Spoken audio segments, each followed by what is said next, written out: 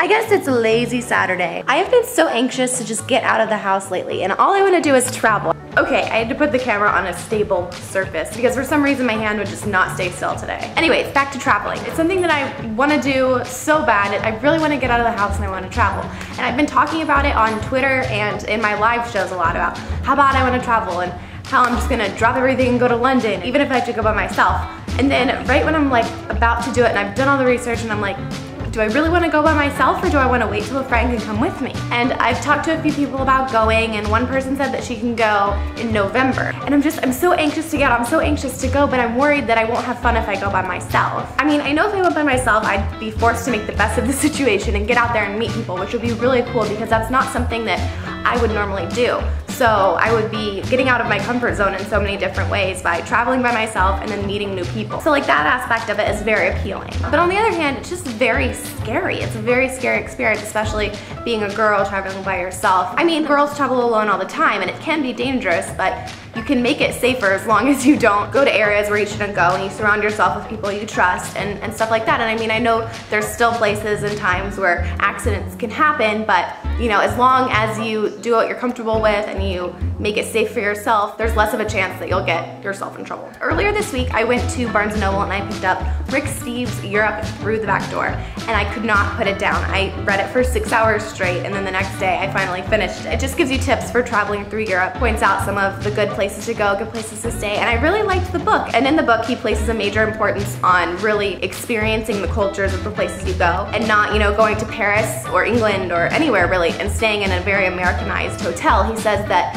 you'll appreciate your trip much more if you stay in like a bed and breakfast or like a locally owned place. And I really liked that. I thought that was a good tip that I wouldn't have thought of normally. Anyways, this isn't an ad for his book or anything. I just really liked it and it got me a lot more excited about traveling. And he also talks about how when you go, you should only bring on one carry-on bag. And when I went to Spain, Phil and I brought these huge suitcases and I really only wore not even half of the clothes that were in there. So when I do travel, I need to be able to bring everything in one bag uh, that I can just carry on, not have to check my luggage or anything. And that's gonna take a lot of practice, but um, buying clothes that, you know, you can wash in your sink in your hotel room and that can dry really quickly overnight and don't wrinkle. That'll take some getting used to, but it's something that I'm really excited to learn. So I think if I do travel alone, or even if I do go with a friend, the first place I wanna go is London. I know this reason sounds stupid, but it's because they speak English and because I've been there before. When I went there, I was like 13, so it was a while ago. I think it's a good place for me to start um, and get used to traveling by myself and I am terrible at reading maps. I'm terrible at learning uh, like the transportation maps and stuff like that. So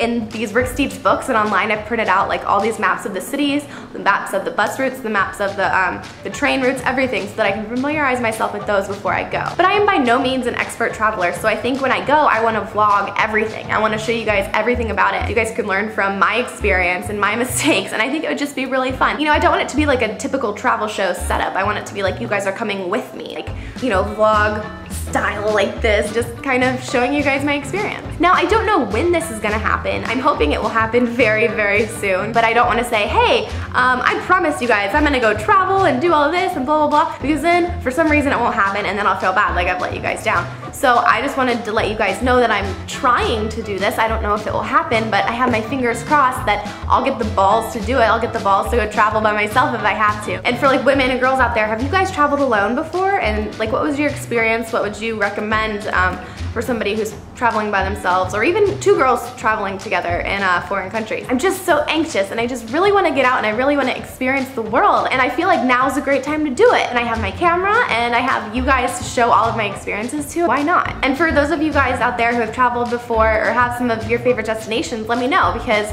right now I just want to do the typical thing, like go backpack through Europe. But what are some other places that you guys would recommend? I want to know some places like off the beaten path. Oh, and I really want to go on a safari, which would be Oh my gosh, I would love that. I, you know, I don't think I would want to go on a safari by myself though. I definitely want to go with someone else. Part of me wants to just buy a ticket, not do any research and just go. But I'm the kind of person who needs to have a plan, at least a little bit of a plan and know what's going on because otherwise I'll have like a panic attack, which would not be good.